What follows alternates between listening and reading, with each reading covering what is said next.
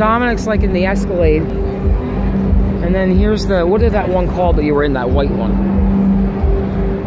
What's that white one called? Uh, the XTS. The XTS. Yeah, that white vehicle is the Cadillac XTS, okay.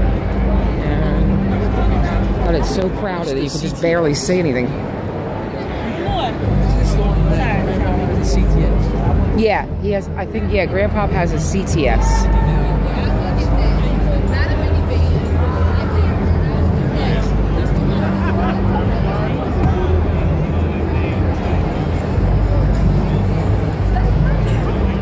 Now this one, I'm definitely trying to see if they have um, a brochure for him.